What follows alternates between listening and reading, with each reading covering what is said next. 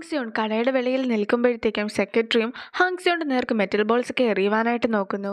പക്ഷെ അപ്പോൾ അവിടെ ചിയോൾ എത്തുന്നത് കൊണ്ട് തന്നെ സെക്രട്ടറി ആ ഒരു പ്ലാനും ഉപേക്ഷിക്കുന്നു. ചിയോൾ ആകട്ടെ ഹാങ്സിയോട് കഴിക്കുവാനായിട്ട് കുറച്ച് സ്നാക്സ് ഒക്കെ ആയിട്ടായിരുന്നു എത്തിയിരുന്നത്. വേറൊരാളാണ് യേസാങ്ങിനെ കൊന്നത്. ഞാനതിന്റെ സാക്ഷിയാണ് എന്ന് ഹീജയും കോടതിയിൽ പറയുന്നു.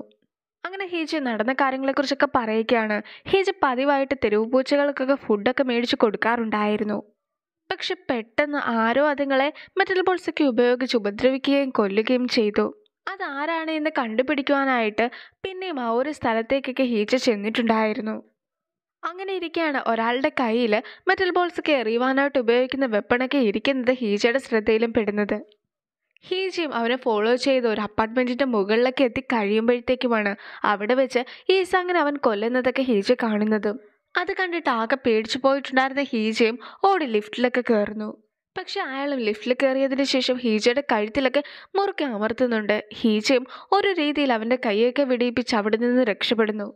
അയാൾ ഒരു തൊപ്പിയൊക്കെ വെച്ച് മുഖം മറച്ചിട്ടുണ്ടായിരുന്നെങ്കിലും അയാളുടെ ചൂണ്ടുവിരൽ വളരെ ഹാർഡായിരുന്നു എന്നും ഹീജ പറയുന്നു. സെക്രട്ടറി വർക്കൊക്കെ ചെയ്യുന്ന സമയത്ത് ഏറ്റവും കൂടുതലായിട്ട് ഉപയോഗിക്കുന്നത് ചൂണ്ടുവിരലാണ് എന്നൊക്കെ നമുക്ക് കാണിച്ചു തരുന്നു. എന്റെ കക്ഷി വിറ്റ്നസ് ആണെന്ന് പറഞ്ഞല്ലോ അവന്റെ മെന്റൽ ഹെൽത്തും ഓക്കെ അല്ല. അതുകൊണ്ട് തന്നെ ഈ ഒരു അറസ്റ്റ് വാറന്റ് ഒക്കെ ഒഴിവാക്കണമെന്ന് അമ്മയും ചിടിച്ചിനോട് പറയുന്നുണ്ട്. പരീക്ഷയ്ക്ക് അവസാനിക്കുമ്പോഴത്തേക്കും ഹെയ് ആകട്ടെ ഒരു ക്വസ്റ്റ്യന് പോലും ഉത്തരം എഴുതിയിട്ടുണ്ടായിരുന്നില്ല. എക്സാം എഴുതി കഴിയുമ്പോൾ തന്നെ സഞ്ജയ് അവിടെ നിന്നും പോകുന്നത് കാണുന്ന ഹേയും സഞ്ജയനെ പിന്തുടർന്നു പോകുന്നു. അതേസമയം സുവ ഹേയിനെ പിന്തുടർന്നു പോകുന്നു. എനിക്ക് നിന്നോട് കുറച്ച് കാര്യങ്ങളൊക്കെ സംസാരിക്കുവാനുണ്ട് എന്ന് പറഞ്ഞിട്ട് ഹേയ് സഞ്ജനെ പിടിച്ചു നിർത്തുന്ന സമയത്ത് എനിക്ക് നിന്നോടും കുറച്ച് കാര്യങ്ങൾ പറയുവാനുണ്ട് എന്ന് പറഞ്ഞ് സുവ ഹേയിനെയും പിടിച്ചു നിർത്തുന്നു. അതേസമയം ആ ഒരു സമയം കൊണ്ട് സഞ്ജു അവിടെ നിന്ന് പോകുകയാണ് മിഡ് ടൈമിലെ മാത്സിന്റെ എക്സാമിന് നിനക്ക് എങ്ങനെയാണ് എല്ലാ ഉത്തരവും ശരിയാക്കുന്നത്? ക്ലാസ്സിലെ മറ്റ് ടോപ്പേഴ്സിന് പോലും സെക്കൻഡ് ക്വസ്റ്റ്യൻ തെറ്റിപ്പോയിട്ടുണ്ടായിരുന്നല്ലോ. അക്കാഡമിയുടെ പ്രാക്ടീസ് ക്വസ്റ്റ്യൻസിലും അതുപോലത്തെയുള്ള ഒരു ചോദ്യങ്ങളും ഉണ്ടായിരുന്നില്ല. ചോൾ നമ്മുടെ മാത്സ് ടീച്ചറിനെയൊക്കെ കഴിഞ്ഞിടെ മീറ്റ് ചെയ്തിട്ടുണ്ടായിരുന്നല്ലോ. സത്യം പറ ചോൾ നിനക്ക് വേണ്ടി എക്സാമിന് വരുന്ന ക്വസ്റ്റ്യൻസ് ഒക്കെ കൊണ്ടുതന്നതല്ലേ എന്നൊക്കെ സുവ ചോദിക്കുമ്പോഴത്തേക്കും. നിനക്ക് എക്സാമിന്റെ ഒരുപാട് സ്ട്രെസ്സൊക്കെ ഉണ്ടെന്ന് തോന്നുന്നു. ഒരു കാര്യം ചെയ്യുക വീട്ടിൽ പോയി കുറച്ച് റെസ്റ്റൊക്കെ ചെയ്യുക അപ്പോൾ എല്ലാം ശരിയായിക്കോളുമെന്നാണ് സുവയോട് ഹെയ് പറയുന്നതും. പക്ഷെ സുയാകട്ടെ അതൊന്നും അങ്ങനെ വിടുവാൻ ഉദ്ദേശിച്ചിട്ടുണ്ടായിരുന്നില്ല. അതുകൊണ്ട് തന്നെ ഹേയുടെ മുടിയിലൊക്കെ പിടിച്ചു നിർത്തിയിട്ട് സത്യം പറ എന്ന് പറഞ്ഞ് ബഹളം വെക്കുകയാണ്. അതേസമയം ഡാൻഷിയും ചുൻഹുവും കൂടി അവിടേക്ക് എത്തിയിട്ടാണ് ഹെയിനെ രക്ഷിക്കുന്നതും. ഹെയും സ്കൂൾ ഗേറ്റ് വരെ ചെന്നിട്ട് സഞ്ജയനെ കാണാതെ ആക്കുമ്പോഴത്തേക്കും അവനെ വിളിച്ചു നോക്കുന്നു. ഹാങ്സിയോണും കിമ്മും ചെയ്വും കൂടി ചേർന്നിട്ട് ചിയോൾ മേടിച്ചു കൊടുത്തിട്ടുണ്ടായിരുന്ന സ്നാക്സ് ഒക്കെ കഴിക്കുന്നു. ചിയോളിനെ രാവിലെ കണ്ടപ്പോൾ ഉണ്ടായിരുന്ന നിന്റെ എക്സ്പ്രഷനൊക്കെ ഞാൻ ശ്രദ്ധിച്ചിട്ടുണ്ടായിരുന്നു എന്ന് കൂടി കിം ഹാങ്സിയോണോട് പറയുന്നുണ്ട്. കിമ്മിന്റെ ചുണ്ടിൽ കുറച്ച് ക്രീമൊക്കെ ഇരിക്കുന്നത് കാണുന്ന ജൈവവും അവൾക്ക് ടിഷ്യൂ ഒക്കെ നൽകുന്നു. ഇനി അവിടെ ഉണ്ടായിരുന്ന കുറച്ച് വെള്ളമൊക്കെ കുടിച്ചിട്ട് ചൂടാണെന്ന് കിം പറയുമ്പോഴത്തേക്കും ഓടി ഫ്രിഡ്ജിന്റെ അകത്ത് നിന്നും ഐസൊക്കെ എടുത്തിട്ടാണ് ജൈവ് വരുന്നത്. നിങ്ങൾക്കിടയിൽ ഇത് എന്താണ് സംഭവിക്കുന്നത്? ഞാനില്ലാത്തപ്പോൾ എന്തെങ്കിലും നടന്നിട്ടുണ്ടായിരുന്നോ എന്നൊക്കെ ഹാങ്സിയോണും അവരോട് ചോദിക്കുന്നുണ്ട്. നീ എന്തിനാ കിമ്മിനോട് ഇതുപോലെ ചോദ്യമൊക്കെ ചോദിക്കുന്നത്? അവളെ വെറുതെ വിടേ എന്നൊക്കെ ജൈവവും പറയുന്നത് കേൾക്കുമ്പോൾ ഹാങ്സിയോൺ ആകെ സംശയം തോന്നുന്നു. ഇന്നലെ നടന്നിട്ടുണ്ടായിരുന്ന കാര്യമൊക്കെ ഓർത്തിട്ടാണോ നീ ഇപ്പോൾ എന്റെ അടുത്ത് ഇങ്ങനെയൊക്കെ പെരുമാറുന്നതെന്ന് കിമോൻ ചെയ്വനോട് ചോദിക്കുന്നുണ്ട്. എനിക്കൊരു തെറ്റുപറ്റിപ്പോയതാണ് എന്നൊക്കെ ചെയ്വു പറയുമ്പോഴത്തേക്കും എനിക്ക് ഏതാണുങ്ങളെ കണ്ടിട്ടുണ്ടെങ്കിലും ഇഷ്ടം തോന്നുന്നുള്ള കാര്യമൊക്കെ നിനക്ക് അറിയാവുന്നതല്ലേ? ഇന്നലെ ഡ്രിങ്ക്സ് ഒക്കെ കുടിച്ച് ഹാങ് ഓവറിൽ ഞാൻ അങ്ങനെയൊക്കെ സംസാരിച്ചു പോയതാണ്. നീ അതൊന്നും തന്നെ കാര്യമാക്കേണ്ടതില്ല എന്നൊക്കെയാണ് കിം ചെയ്വുവിനോട് പറയുന്നത്. നിനക്കറിയാവുന്ന കാര്യങ്ങളൊക്കെ എന്നോട് നേരത്തെ പറയുവാൻ മേലായിരുന്നു എന്നൊക്കെ അമ്മയും ഹീജോട് ചോദിക്കുന്നുണ്ട്. അതേസമയം അമ്മ എന്നോട് ഒന്നും തന്നെ ചോദിച്ചിട്ടുണ്ടായിരുന്നില്ലല്ലോ. ആ പോലീസുകാരെ പോലെ തന്നെ ഞാനാണ് അയാളെ കൊന്നതെന്നല്ലേ അമ്മയും വിചാരിച്ചിരുന്നത് എന്നൊക്കെയാണ് ഹേജ മറുപടിയായിട്ട് പറയുന്നതും. അമ്മ തന്ന അതേ ക്വസ്റ്റ്യൻസ് ആയിരുന്നു എക്സാമിന് വന്നത്. സത്യം പറ എന്താ ശരിക്കും നടന്നത് എന്നൊക്കെ അമ്മയോട് സണിച്ച് ചോദിക്കുന്നുണ്ട്. ഞാൻ നിന്നോട് എത്രത്തോളം നന്നായിട്ട് പഠിക്കാൻ പറഞ്ഞാലും ഈ ഒരു സബ്ജക്റ്റിന് നിനക്ക് ലെവൽ വൺ എത്തുവാൻ സാധിക്കുമായിരുന്നില്ല. നിനക്ക് നന്നായി ശ്രദ്ധിക്കുവാനും സാധിക്കുന്നില്ല എന്ന് മനസ്സിലാക്കിയത് കൊണ്ടാണ് ഞാൻ ഇങ്ങനെയൊക്കെ ചെയ്തത് എന്നാണ് അമ്മ പറയുന്നത്. എന്റെ മുമ്പിൽ മറ്റു മാർഗങ്ങൾ ഉണ്ടായിരുന്നില്ല എന്നൊക്കെ അമ്മ പറയുന്നുണ്ടെങ്കിൽ പോലും നമ്മൾ ഇപ്പോൾ ചെയ്തത് ശരിയായില്ല. ഏതായാലും സ്കൂളിലുള്ളവരോട് മാത്രം നമുക്ക് കാര്യങ്ങളൊക്കെ തുറന്നു പറയേണ്ടതായിട്ടുണ്ട് എന്നൊക്കെ സഞ്ജയ് അമ്മയോട് പറയുമ്പോഴത്തേക്കും നീ ഒരിക്കലും അങ്ങനെ ചെയ്യുവാൻ പാടില്ല. അങ്ങനെ ചെയ്യുകയാണെങ്കിൽ ഇനിയും നീ എന്നെ ഹോസ്പിറ്റലിൽ വെച്ച് കാണേണ്ടി വരുമെന്നാണ് അമ്മ സഞ്ജയോട് പറയുന്നതും. ഈ ഒരു സമയത്തും സഞ്ജയ്ക്ക് ഹെയുടെ കോൾസൊക്കെ വരുന്നുണ്ടായിരുന്നു. അതേസമയം അവിടെ നടന്നിട്ടുണ്ടായിരുന്ന എല്ലാ കാര്യങ്ങളും ഹീജയും കാണുന്നു. ഹേയ് എത്ര തവണ വിളിച്ചിട്ടും സഞ്ജയ് ഫോൺ എടുക്കുന്നുണ്ടായിരുന്നില്ല.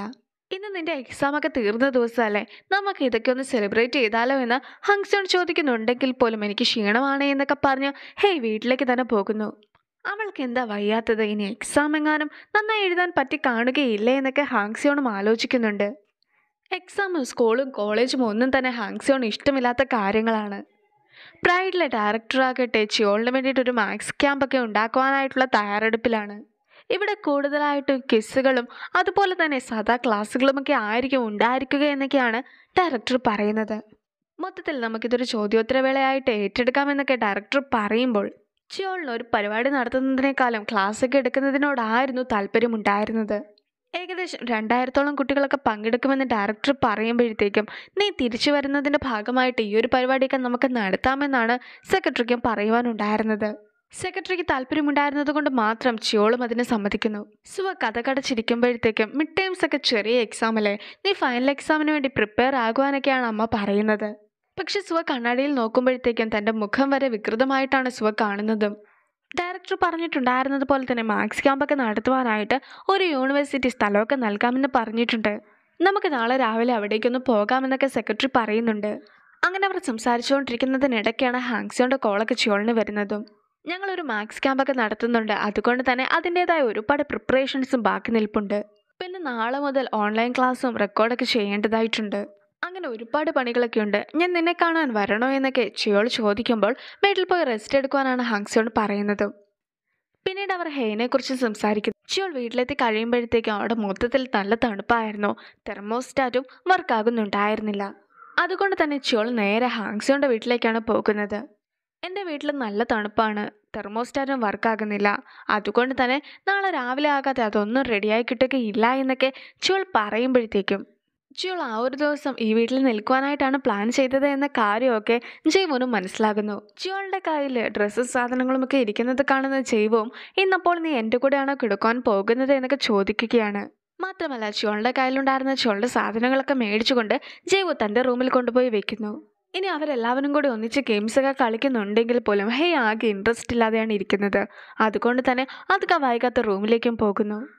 ഹാങ്സിയോൺ കളിക്കുമ്പോഴൊക്കെ തന്നെ ചിയോളും ജൈവവും കൂടി ചേർന്നിട്ട് കള്ളക്കളിയൊക്കെ കളിക്കാറുണ്ട്. അതുകൊണ്ട് തന്നെ ചിയോൾ കളിക്കുന്ന സമയത്ത് ഹാങ്സിയോണും ചിയോളുടെ ചെവിയിലൊക്കെ ഊതുന്നത് കൊണ്ട് തന്നെ ചിയോളിന് കോൺസെൻട്രേഷനൊക്കെ നഷ്ടപ്പെട്ട് ആ ഒരു ഗെയിമിൽ തോൽക്കുന്നു. ഹേയ് സഞ്ജയനെ കോൾ ചെയ്യുന്നുണ്ടെങ്കിലും സഞ്ജയ്ക്ക് ആകെ ദേഷ്യമായ ആ ഒരു ഫോണൊക്കെ നിലത്തേക്ക് എറിയുകയാണ്. പിന്നീട് സഞ്ജയ് വിഷമിച്ച് തല മേശയിലേക്കൊക്കെ ഇടിപ്പിക്കുന്ന സമയത്ത് അവിടെ ഹീജയും അവനെ സമാധാനിപ്പിക്കുവാനായിട്ട് എത്തുന്നു. ഞാൻ ഇനി എന്ത് ചെയ്യുമെന്നൊക്കെയാണ് ഹീജയോട് അവൻ ചോദിക്കുന്നതും. ജൈവു ഉറങ്ങിയോ എന്നൊക്കെ ചോൾ ടെസ്റ്റ് ചെയ്യുമ്പോഴത്തേക്കും ഞാൻ ഒരാളെ വിഷമിപ്പിച്ചിട്ടുണ്ടായിരുന്നു. അയാളോട് ഞാൻ ക്ഷമയും ചോദിച്ചു. അയാൾ സാരമില്ല എന്നൊക്കെ പറഞ്ഞിട്ടുണ്ടായിരുന്നെങ്കിലും അത് മനസ്സിൽ തട്ടിയാണോ അല്ലയോ എന്ന് എനിക്ക് അറിയുകയില്ല. എന്തായാലും ഈ ഒരു കാര്യം തന്നെയാണ് ഞാൻ എപ്പോഴും ആലോചിച്ചുകൊണ്ടിരിക്കുന്നത് എന്നൊക്കെ ജൈവ് പറയുമ്പോഴത്തേക്കും അവളുടെ അടുത്ത് നിനക്ക് ഇഷ്ടമുണ്ടെന്നാണ് അതിന്റെ അർത്ഥം. നിന്റെ സഹോദരി എന്റെ അടുത്ത് പെരുമാറിയ സമയത്ത് എനിക്കും ഇങ്ങനെയായിരുന്നു തോന്നിയിട്ടുണ്ടായിരുന്നത് എന്നൊക്കെയാണ് ചോൾ പറഞ്ഞു കൊടുക്കുന്നത്. നിനക്ക് നാളെ വർക്കൊക്കെ ഉള്ളതല്ലേ? നീ ഇപ്പോൾ നന്നായി കിടന്ന് ഉറങ്ങിയെന്ന് പറഞ്ഞ് ചോൾ അവനെ ഉറക്കുന്നുമുണ്ട്. അങ്ങനെ ജൈവു ഉറങ്ങിയെന്ന് മനസ്സിലാക്കുന്ന ചിയോളും അവിടെ നിന്നും ഹാങ്സിയുടെ റൂമിൽ എത്തുകയാണ്. നമുക്കിന്ന് ഇവിടെ കിടന്ന് ഉറങ്ങാമെന്നൊക്കെ ഹാങ്സിയോനോട് ചിയോൾ പറയുന്നുണ്ടെങ്കിൽ പോലും. അഞ്ച് മിനിറ്റ് മാത്രം ഇവിടെ കിടന്നതിന് ശേഷം തിരിച്ച് ജൈവന്റെ റൂമിലേക്ക് പോകണമെന്നാണ് ഹാങ്സിയോൺ പറയുന്നത്. അതെല്ലാം തന്നെ സമ്മതിച്ചിട്ടാണ് ചിയോൾ കിടക്കുന്നതെങ്കിൽ പോലും പിറ്റേ ദിവസം രാവിലെ ആക്കുമ്പോഴത്തേക്കുമാണ് ഇവർ രണ്ടുപേരും എണീക്കുന്നത്. ജിയോളിനെ നൈസായിട്ട് ആ ഒരു റൂമിൽ നിന്നും ഇറക്കുവാനായിട്ട് ഹാങ്സിയോൺ ശ്രമിക്കുമ്പോഴത്തേക്കുമാണ് ഹേയും എണീറ്റ് വരുന്നത്. ഹേയും അടുക്കളയിൽ ജ്യൂസൊക്കെ ഉണ്ടാക്കിക്കൊണ്ടിരിക്കുന്ന സമയം കൊണ്ട് ഹാങ്സിയോൺ ഹേ അറിയാതെ തന്നെ ജിയോളിനെ ജൈവിന്റെ റൂമിലേക്ക് ആക്കി കൊടുക്കുന്നു. പക്ഷെ റൂമിലെത്തുമ്പോഴത്തേക്കും ജൈവ് എണീറ്റിട്ടുണ്ടായിരുന്നു. ഞാൻ ഇന്നലെ മുഴുവൻ നിന്റെ കൂടെ ആയിരുന്നു കിടന്നുറങ്ങിയത് എന്നൊക്കെ ചോൾ ജൈവുവിനെ പറഞ്ഞ് മനസ്സിലാക്കാൻ നോക്കുന്നുണ്ടെങ്കിൽ പോലും ഞാൻ നാല് മണിക്ക് ബാത്റൂമിൽ പോകുവാൻ എണീറ്റപ്പോൾ നീ ഇവിടെ ഉണ്ടായിരുന്നില്ല. പിന്നെ ഇപ്പോൾ എണീറ്റപ്പോഴും നിന്നെ കണ്ടിട്ടുണ്ടായിരുന്നില്ല എന്നൊക്കെ ജൈവുവും തിരിച്ചു പറയുന്നുണ്ട്. ചില സന്ദർഭങ്ങളിൽ രണ്ട് ആണുങ്ങൾ തമ്മിൽ രഹസ്യമൊക്കെ ഉണ്ടായിരിക്കണമെന്നാണ് ചോൾ ജൈവുവിന് പറഞ്ഞു കൊടുക്കുന്നതും. ഞാൻ നിന്റെ അമ്മയോട് സംസാരിച്ചിട്ടുണ്ടായിരുന്നു. കഴിഞ്ഞ എക്സാംസ് നിനക്ക് നന്നായി എഴുതാൻ പറ്റിയില്ല എന്ന് വിചാരിച്ചിട്ട് നീ വിഷമിക്കേണ്ട കാര്യം ഒന്നും തന്നെയില്ല. കഴിഞ്ഞത് കഴിഞ്ഞു. ഇനിയുള്ള എക്സാംസ് ഒക്കെയാണ് ഏറ്റവും ഇമ്പോർട്ടന്റ് എന്നൊക്കെയാണ് ചോൾ ഹെയോട് പറയുന്നതും. നീ ഇന്ന് ഈവനിങ് ഫ്രീ ആണോ എന്നൊക്കെ ഹെയ് ചോളിനോട് ചോദിക്കുമ്പോഴത്തേക്കും ഇന്ന് ഒരുപാട് വർക്ക് ഉണ്ട് എന്നൊക്കെ ചോൾ പറയുന്നത് കൊണ്ട് തന്നെ പിന്നെ ഒരിക്കൽ സംസാരിക്കാമെന്ന് പറഞ്ഞ് ഹെയും പോകുന്നു. സെക്രട്ടറി വർക്കൊക്കെ ചെയ്തുകൊണ്ടിരിക്കുമ്പോഴത്തേക്കുമാണ് ചോൾ സെക്രട്ടറിനെ വിളിക്കുന്നത്. ഞാനിപ്പോൾ ഉള്ളത് ഹാങ്സിയോന്റെ വീട്ടിലാണ്. അതുകൊണ്ട് തന്നെ തനിയെ ഞാൻ ഡ്രൈവ് ചെയ്ത് വന്നോളാം. നീയും സ്ഥലത്തേക്ക് എത്തിയാൽ മതി എന്നൊക്കെ ചിയോൾ പറയുന്നുണ്ട്. മാത്രമല്ല നമ്മൾ അന്ന് പോയ സമയത്തുള്ള ഫോട്ടോസും വീഡിയോസും ഉണ്ടെങ്കിൽ അതും കൂടി എനിക്കൊന്ന് അയച്ചു തരാമോ എന്ന് കൂടി ചിയോൾ ചോദിക്കുന്നു. സെക്രട്ടറിയും ആകെ ദേഷ്യത്തിലായിരുന്നു അപ്പോഴുണ്ടായിരുന്നത് അങ്ങനെ ഇരിക്കെ അന്നെടുത്തിട്ടുണ്ടായിരുന്ന വീഡിയോസൊക്കെ സെക്രട്ടറി അയച്ചു കഴിയുമ്പോഴത്തേക്കും ഹാങ്സോണും ചോളും ഒന്നിച്ചിരുന്നാണ് അത് കാണുന്നത്. ആ ഒരു വീഡിയോസൊക്കെ എന്ത് ക്ലിയർ ആണല്ലേ എന്നൊക്കെ ചോദിക്കുമ്പോഴത്തേക്കും അന്നത്തെ കാലാവസ്ഥ നല്ലതല്ലായിരുന്നു? അതുകൊണ്ടാണ് ഫോട്ടോസും അതുപോലെ വന്നത് എന്നൊക്കെ ഹാങ്സിയോണ് മറുപടി പറയുന്നു. സഞ്ജു ക്ലാസ്സിലെത്തിയതിനു ശേഷം ഹേയ്ക്കും സഞ്ജുയോട് സംസാരിക്കണമെന്നുണ്ടായിരുന്നു. പക്ഷെ അപ്പോഴേക്കും ടീച്ചറും ക്ലാസ്സിലേക്ക് വരുന്നു. പേപ്പേഴ്സ് എല്ലാം നോക്കിക്കഴിഞ്ഞിട്ടില്ലെങ്കിൽ പോലും നമ്മുടെ ക്ലാസ്സിലെ ഒരു കുട്ടിക്ക് ഒന്നാം സ്ഥാനത്ത് എത്തുവാൻ സാധിക്കുമെന്നാണ് എനിക്ക് തോന്നുന്നത് എന്നൊക്കെ ടീച്ചറും പറയുന്നുണ്ട്. ചിലർ അത് ഹെയ് ആയിരിക്കുമെന്നും മറ്റു ചിലർ അത് സുയ ആയിരിക്കുമെന്നും വിചാരിക്കുന്നു. പക്ഷേ ഇവർ രണ്ടുപേരും ആയിരുന്നില്ല. സഞ്ജയ് ആയിരുന്നു ആ ഒരാൾ. നിനക്ക് എല്ലാ തവണയും റീഡിങ്ങിനല്ലായിരുന്നു മാർക്കൊക്കെ കുറയുന്നത്. പക്ഷേ ഈ ഒരു തവണ ആ ഒരു എക്സാമിന് നിനക്ക് നല്ല മാർക്ക് തന്നെ കിട്ടിയിട്ടുണ്ട് എന്നൊക്കെയാണ് ടീച്ചർ പറഞ്ഞു കൊടുക്കുന്നത്. പക്ഷേ ആ ഒരു എക്സാമിന് ഹേ ഒന്നും തന്നെ എഴുതിയിട്ടുണ്ടായിരുന്നില്ല. അതുകൊണ്ട് തന്നെ ടീച്ചർ ഹെയ്നെയും വിളിപ്പിക്കുന്നു. നീ എന്തുകൊണ്ടാണ് റീഡിംഗ് സെഷനിൽ ഒരു ക്വസ്റ്റിന് പോലും ആൻസർ ചെയ്യാതിരുന്നത്? മോക്ക് എക്സാമിനൊക്കെ നിനക്ക് നല്ല മാർക്കും ഉണ്ടായിരുന്നല്ലോ. നിനക്ക് എന്തെങ്കിലും ബുദ്ധിമുട്ട് വല്ലതും തോന്നുന്നുണ്ടോ എന്നൊക്കെ ടീച്ചർ അവളോട് ചോദിക്കുന്നുണ്ട്. എനിക്ക് കൃത്യസമയത്തിനൊന്നും തന്നെ ചെയ്യുവാൻ സാധിച്ചില്ല.